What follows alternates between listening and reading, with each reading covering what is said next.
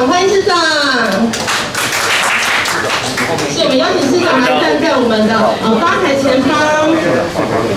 是，那今天要特别感谢我们韩市长以及我们王局长不做这边莅临哦。那今天是为了我们呃防疫期间有许多朋友可能会对于来用餐有些担心，那今天特别感谢市长和局长的莅临。那首先我们要为大家先介绍的是喜憨儿基金会的创办人朱国登书记长为我们致欢迎词，欢迎书记长。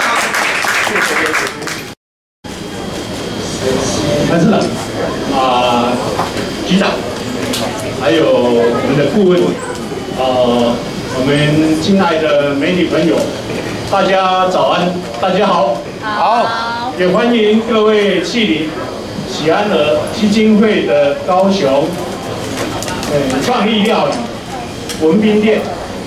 那在这里，我们照顾了十八位的安儿。那也有两位的一般雇用的，所以总共是二十位。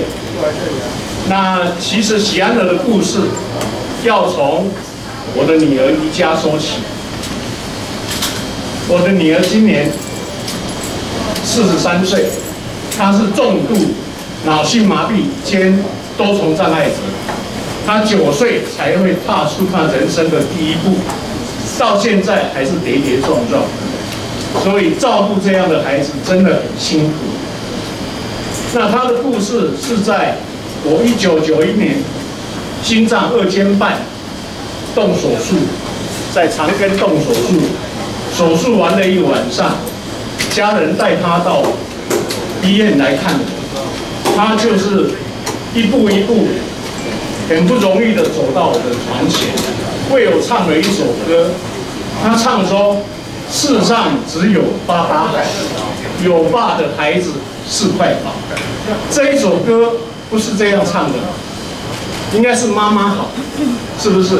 但是他能够把妈妈非常合理的就把它转成爸爸了，哦，那在场的人所有人都很感动。那我说这样的孩子都有这样的能力，我们怎么能够放弃他？所以我就。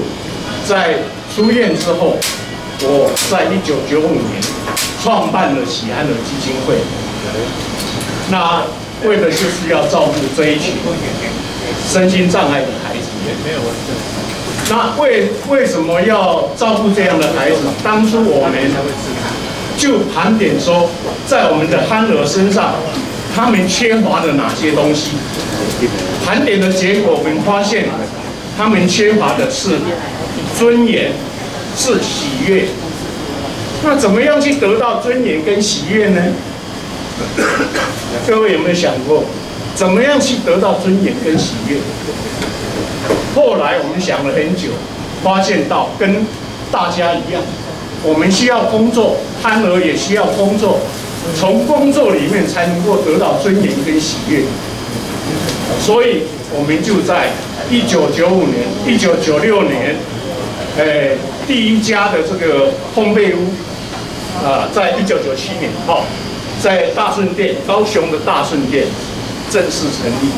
那也就是照顾了台湾很多的身心障碍者，也让他们的家庭能够有一个很好的信心。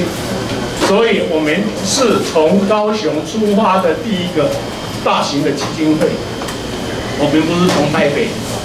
啊，然后再来高雄，我们是从高雄再去台北，再到新竹，再到桃园，再到台南，再到呃，再到新竹县市，所以一路上就是这样走过来，我们走了二十年，二十五年了啊，一九九五到现在是二零二零嘛，哦，那这一路上也很感谢社会上有这样的温情，一直啊在帮喜安的。哎，协助我们。那我们训练他们工作的最主要的目的是什么？是让他们得到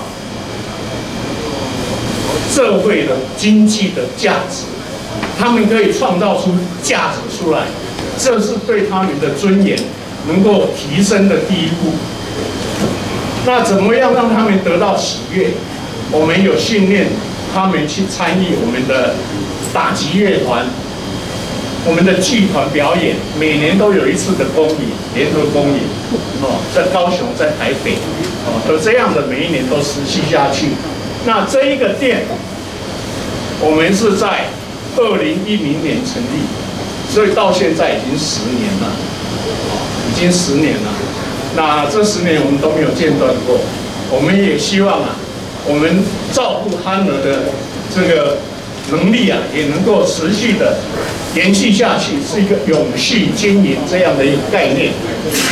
那最近刚好遇到这个新冠的这个病毒的影响，所以啊，像这个店，我们身体也受到了影响。好，那我们一年要照顾摊儿，大概要花五百万的薪资，建劳劳健保。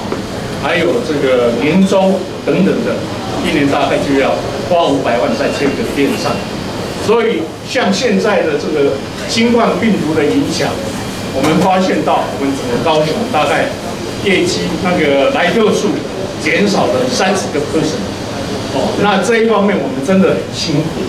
哦，其他的一般的店面可以关掉，很容易。